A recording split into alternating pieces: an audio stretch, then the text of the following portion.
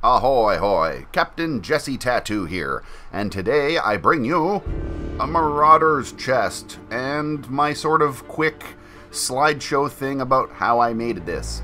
Um, the long and short of the story is ever since I first started playing this game, I fell in love with the Marauder's chest. I think it's an absolutely beautiful, most iconic chest of them all. Anyway, um, I used to make props. I used to make a lot of cosplay costumes and props. And I honestly knew I could make this. I just wanted to. Um, I was trying to make a frame, and then I found this wonderful um, wicker chest at a thrift store for like five bucks, and it was so close, and it was the right size, and it was lightweight. It was just too close to leave in the store for five bucks.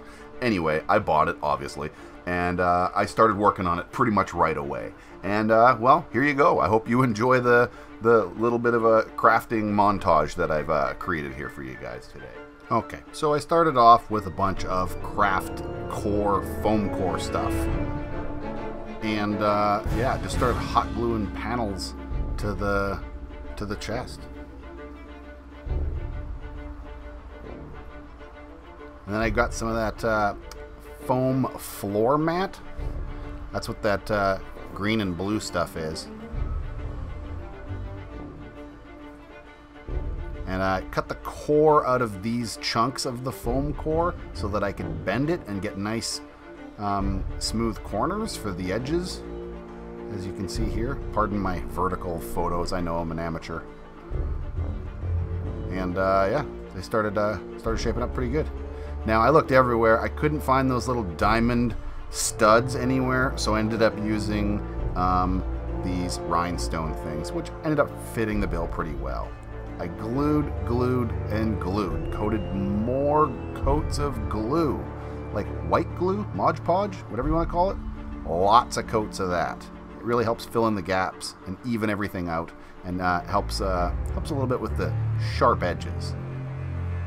Um, as you can see, I, uh, it's coming together really nice.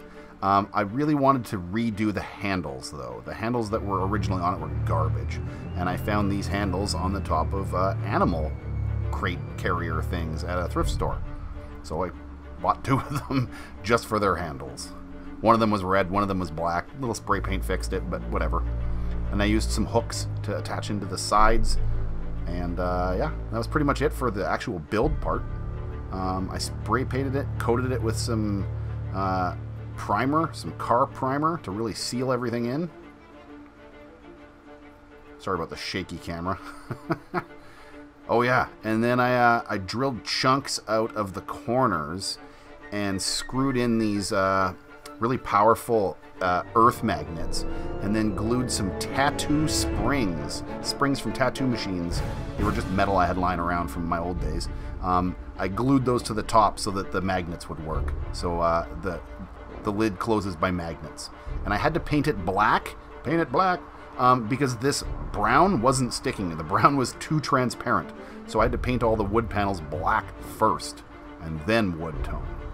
And, uh, and then I got some chrome paint and did the rest, and man, oh, I love this thing. I really do. I'm pretty proud of it, not gonna lie. I think it turned out pretty good. It's, uh, the magnets hold really, really well. Yeah. There you go, folks. Hope you enjoyed. And if you did enjoy, don't forget to subscribe and like the video and share this all over social media so it can go viral and I can get paid because that's what we're here for, right? The booty. We're here for the gold. The gold. ah, yeah, well, anyway. I'll see you guys next time. Cheers.